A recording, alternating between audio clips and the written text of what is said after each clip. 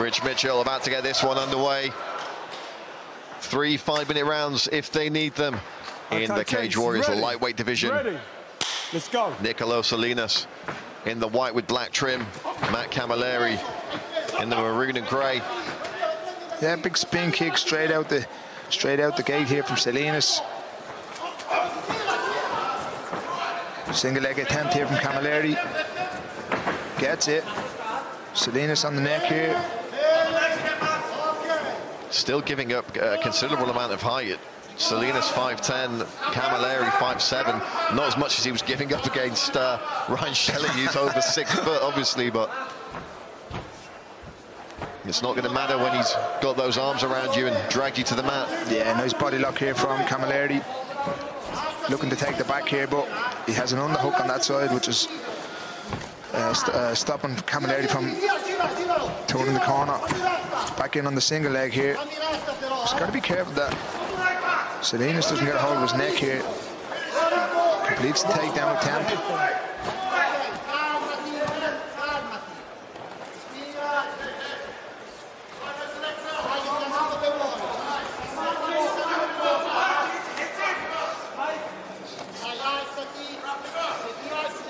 Uh, uh, sorry, I should say, he's trying to get over the knees when he's doing this, uh, oh, sorry, when he gets the takedown against the cage.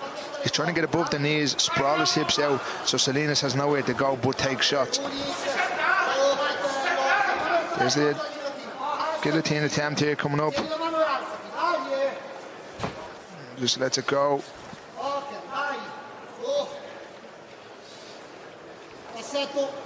We know Camilleri can do this for three five-minute rounds, no problem, and he's surely just wanting to wear Solinas out here. Making him wrestle as much as possible in the early offing. It's better from Camilleri, letting some shots go. Watch for him to drop back in here for a single leg. Pulls the ankle off the cage there. As you say, Paul, he needs to keep it up with those shots. There were some nice punches landed there. The referee's not going to let them hang out in this position if they're not advancing, if they're not doing damage, if they're not looking for submissions.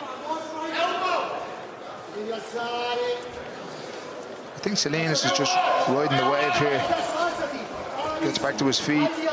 And Camilleri is going to go straight back to a single leg here. You can see him reaching across. So Solinas can't come out from the cage double leg attack, uh, big double leg takedown here, I should say. It's it's tasty wrestling, but I'd like to see more aggression off the back of it when it hits the ground.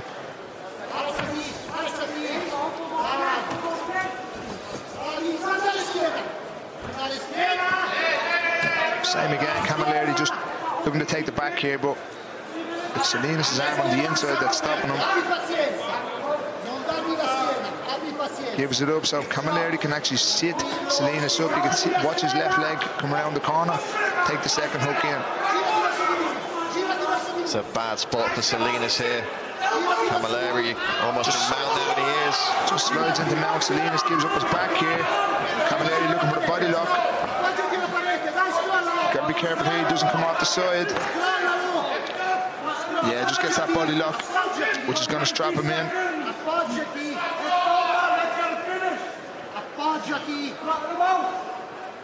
Ellis Hampson there in the corner of Camilleri. They're calling for the finish. There's the arms around the neck. He's got the short choke here.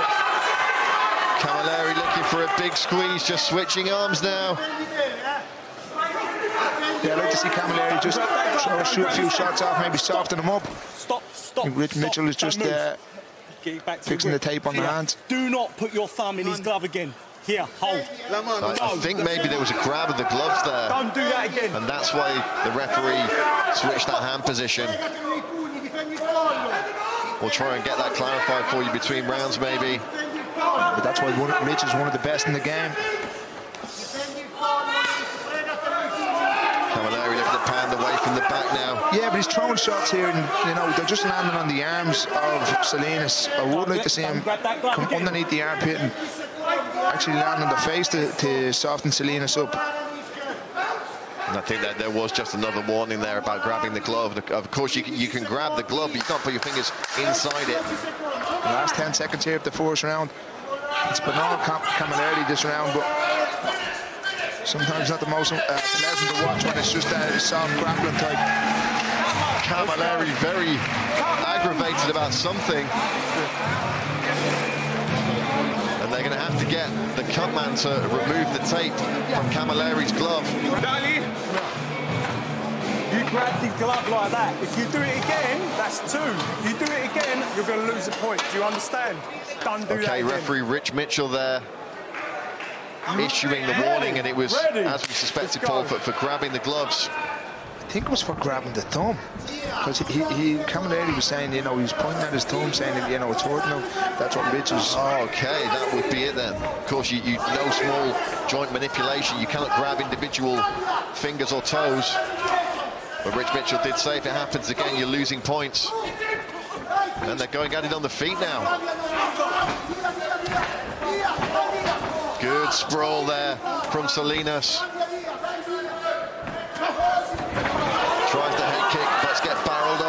Yeah, not the, smartest of moves if uh, your opponent is such a good wrestler like Camilleri. He was landing the jab, he was landing his right hand. Camilleri's got to be careful with the armbar here.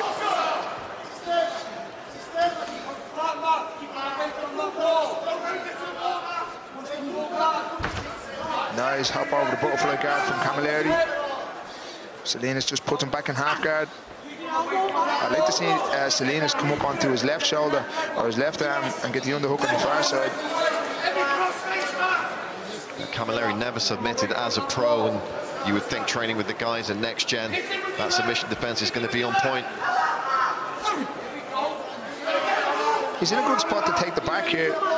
He's just going to let go of Solinas' head from where it is re-pummel his arm around and sit around and take the corner. Oh, or sorry, sit around the corner and take the back and get your second hook in. Or you can frame up here and pound away.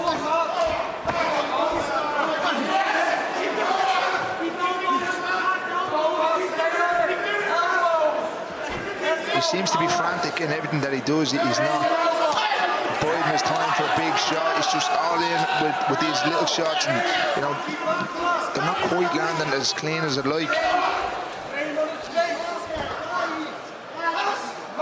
Just passes the guard here to side control. Big elbow there. Oh, and another one from Camilleri. And it's on Solinas at this point to do something to get out of this spot. Camilleri just hammering away with those short elbows. Yeah, is just shrimping back in here now, but he did turn back, sorry, turn and give us back there for a minute. Looking to come up here in a single leg. Camilleri's just coming around to take the back. He's got to get the first hook in. Yeah, the corner was just screaming for Camilleri to take the back there. And he does. Plenty of time to work for this choke as well. Two minutes plus left in the round. Has one hook in on the outside. I would like to see him shift his hips underneath Solinas to get a second hook in. As at the moment, he's going to have to come up the half guard. He's a little bit high here. Repositions. Still has that one hook in on the left side. Pick your shots here, pick your shots. There's the second hook. Does he have a bite on this one? He's got a bite, all right, but I'd like to see him come up and go belly down. There's a after submission,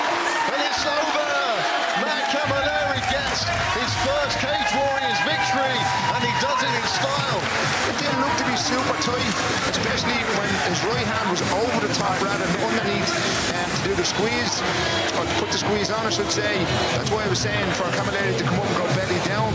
It was sitting, it didn't look like it was over tight. Oh yeah, he's got the short hook in on the left side. I thought he was looking for the rear naked. He's got a really tight squeeze on the left hand. You'll see Camilleri's left elbow coming in behind the shoulder of Solinas. Well, let's take a look at Paul Rimmer's reaction in the corner there. Happy with his man's work.